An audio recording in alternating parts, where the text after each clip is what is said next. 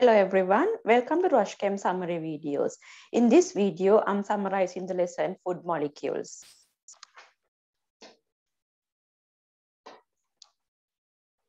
Okay, first we'll look at the proteins.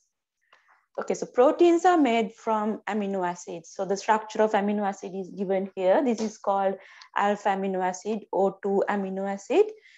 The C double bond, it has a C double bond OH group, then NH2 group, the middle carbon has a hydrogen and an R group. So why I call this as 2 amino acid. This is the carbon number one, the C double OH carbon takes carbon number one. This is carbon number two. The carbon number two has NH2 group. That's why I call 2 amino acid. So amino acids can exist in different forms depending on the solution. So we can have the cation form, the zwitterion form, and the anion form. The zwitterion form is the neutral form which exists in intermediate pH where you have C double O minus and NH3 plus. So what happens here? The C double OH group, you know it's acidic. The acidic group can remove H plus, so it becomes C double O minus. And the NH2 group is a basic group which can take H plus to become NH3 plus. So now in this form, you call zwitterion form, where you have both plus and minus, so it's a neutral form, which exists uh, at intermediate pHs. And then we have the plus form or the cation form, which exists at low pHs or acidic solutions. If the solution is acidic, the NH2 group, this NH2 group can take H pluses. That's how it becomes NH3 plus. And we have the anion form or the negative form at high pHs or in alkaline solution where the C double OH groups remove uh, H plus to make C double O minus. So those are the three forms of amino acid exist in different solutions depending on the pH. Okay, so what is a dipeptide? So when two amino acids to react together, we get dipeptides. So the condensation reaction happen here, where you remove water molecules between two amino acids to get a dipeptide and water. Okay, so we will see how do you draw the dipeptide between glycine and alanine. Okay, you can see here, I have first uh, taken glycine, then I have alanine. So now I remove water so I have C double OH group and NH2 group. So from glycine, I take the OH from the C double OH group. And from alanine, I take the H from the NH2 group to remove water. So after that, you join them up. So you have nitrogen, which has two hydrogens. So you still have the NH2 group from one from glycine, which has CH2 Okay, so then we have C double bond O. The OH is removed and the H from the other one is removed. So then it's NH, then C, H, CH3, and then you have C double O, OH in the other side. So this molecule is called a dipeptide. And you can see in this dipeptide, this new functional group is called amide or peptide functional group. So two amino acids are then linked by what? Amide or a peptide functional group. And the other product here is dipeptide and you get water molecule as the byproduct.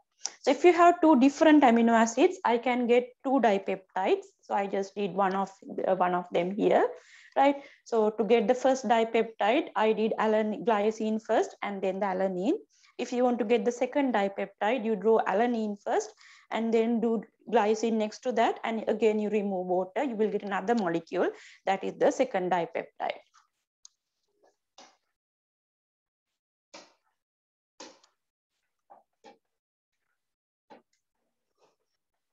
Okay, so we'll now look at the structures of protein. So protein has three, uh, four structures called primary, secondary, tertiary, and the quaternary structure. So primary structure is the sequence of amino acids. So how the amino acids are, in which order, what are the amino acids, and how many amino acids are arranged. So that's the sequence of amino acid. You can see this, this is the primary structure where the amino acids are held by the amide or the peptide linkage. In the secondary structure, So in the secondary structure, the hydrogen bonds will form between the peptide links. So if you take the primary structure here, so these are the peptide links.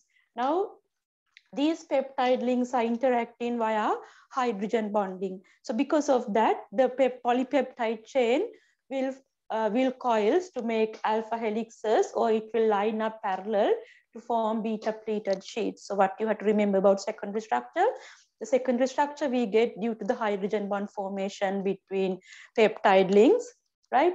So because of that, you can get alpha helices like that, or we can get beta pleated sheets.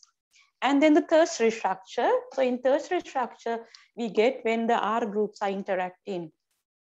So that is the overall three-dimensional shape adapted by the protein that's called the tertiary structure. The secondary structure will now fold three-dimensionally like this to get give the tertiary structure. So R groups in some amino acid interact with R groups of another amino acid in the same polypeptide chain to give the tertiary structure. So there can be a lot of different types of interactions between R groups can be dispersion forces, can be dipole-dipole interactions, hydrogen bonding, disulfide bridges, ionic interactions like that. You can have many type of interactions between R groups. And finally, the quaternary structure. So in this structure, several individual polypeptide chains cluster together. So in all these structures, it's just we are talking about one polypeptide chain. But in the quaternary structure, the several polypeptide chains are interacting to give a 3D, a final 3D shape to the protein that's called the quaternary structure. This is one example of a quaternary structure. Again, in quaternary structure, the peptide chains can interact through different types of interactions like dispersion forces, dipole-dipole, hydrogen bonding, any type of interaction.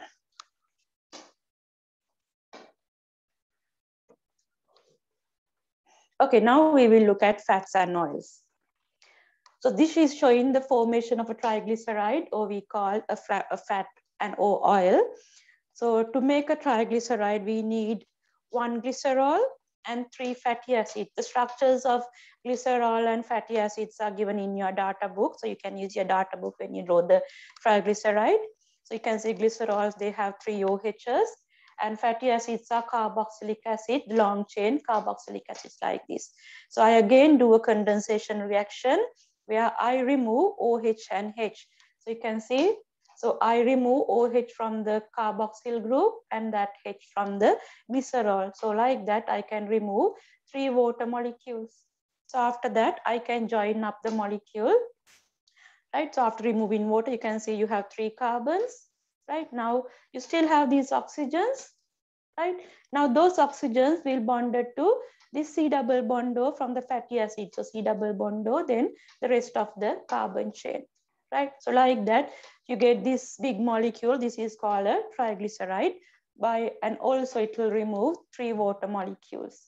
So you can see the new functional group uh, formed in the triglyceride is COO, which is the ester link. So then fats and oils contain what? Ester linkages, like the proteins contain amidopeptide linkages. The fats and oil, they have ester linkages.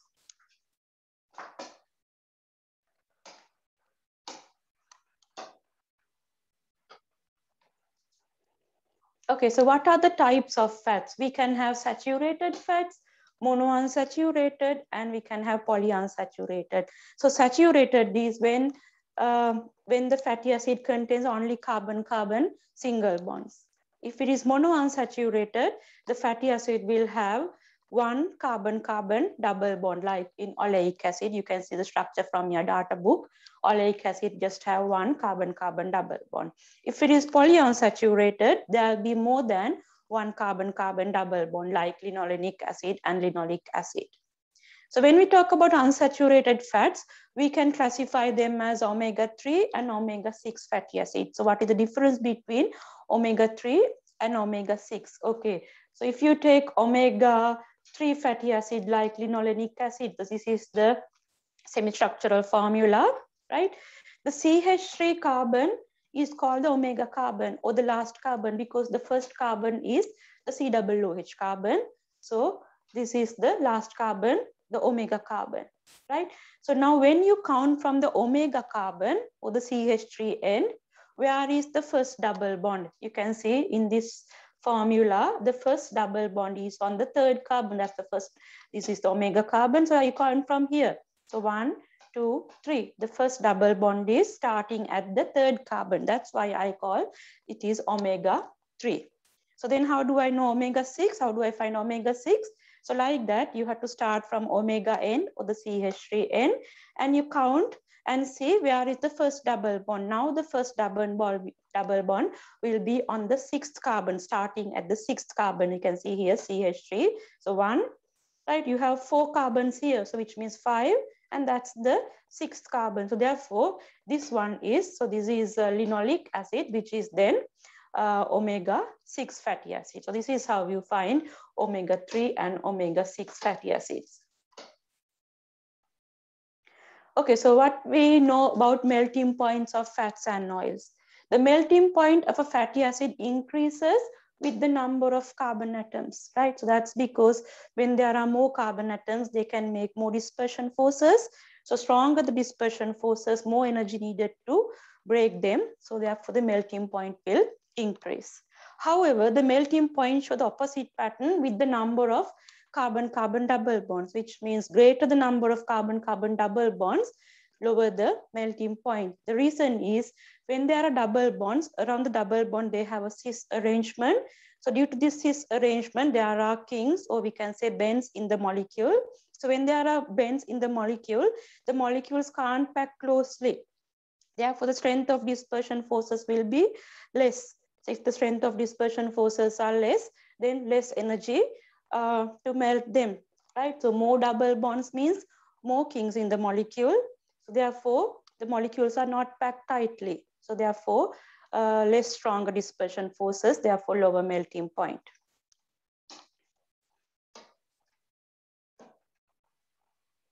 Okay, so now we look at carbohydrates. So carbohydrates, we have three types, monosaccharides, disaccharides, and the polysaccharides. So monosaccharides are the simplest carbohydrates just with one unit. So we have glucose, galactose, and fructose.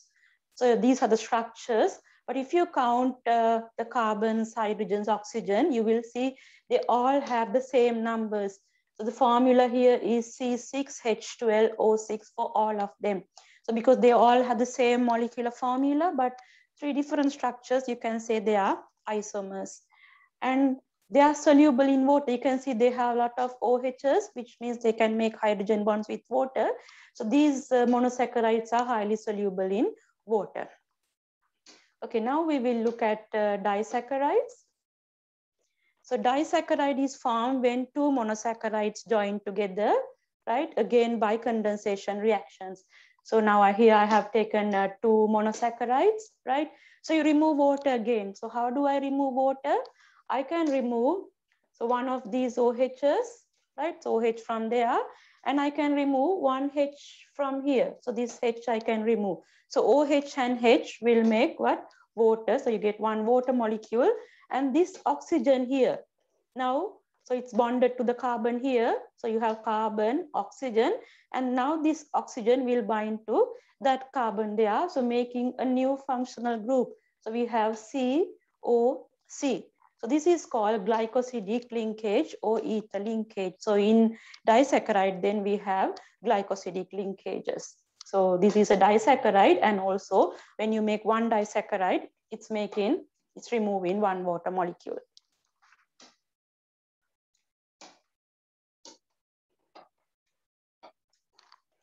Okay, so now we will look at polysaccharides. So polysaccharides are polymers made from many monomers or many glucose units. And between each glucose unit, a water molecule will be, which, between uh, two glucose units, a water molecule will be uh, removed. Okay, so we learn, uh, we learn three polysaccharides, which are starch, cellulose, and glycogen. Okay, so what we need to know about them, so starch is produced in plants by polymerization of alpha glucose. You need to know which type of glucose is polymerizing, right? So starch has two forms called amylose and amylopectin. So amylose is the linear form, which is insoluble in water. And amylopectin is a branch form, which is uh, soluble in cold water. And then we have cellulose. So cellulose is a straight chain polymer formed from the polymerization of beta glucose. And then we have glycogen. Glycogen is the energy st uh, storing molecule in our body. So which is formed by alpha glucose and it's highly branched.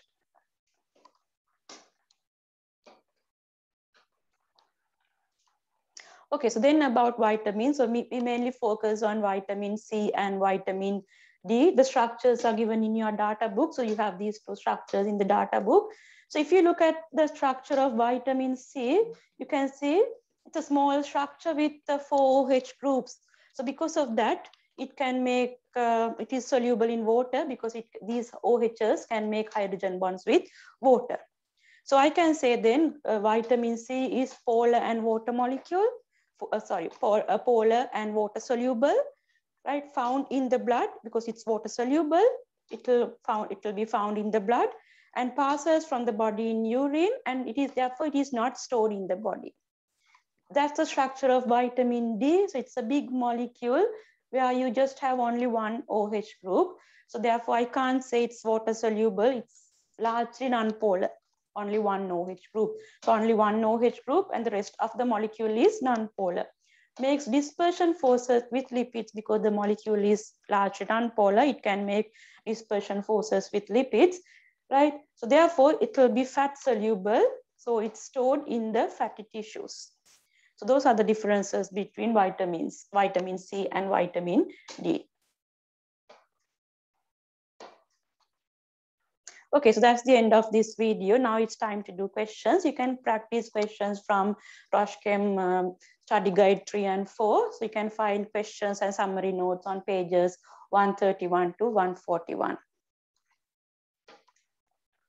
And thanks for watching my video. If you need any uh, further information, please visit our website, www.roshchem.com. Thank you. I'll see you in another video.